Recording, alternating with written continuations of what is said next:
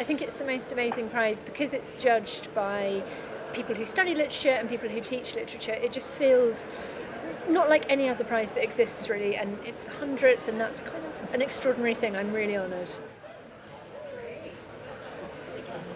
Started honestly it started on a sun lounger in italy and i started writing in the voice of kathy acker. I thought i'll just see what it's like to start recording this sort of strange time. It was the time of trump it was the time of brexit and i wanted to try and capture that from this persona that wasn't mine and just see what it was like. And i really saw it as a time capsule of a moment i knew would become historicized and i wanted to capture it in real time what it felt like to be there in that moment unlike any other book I've ever written, it just ran away with me. It completely took over. And at the end of seven weeks, I emailed my agent and I said, I think I've written a novel. I'm really sorry, but here we are. And that that's what happened. And then it was published very quickly after that in, as the title suggests, Crudo, a very raw state. It's a very raw book.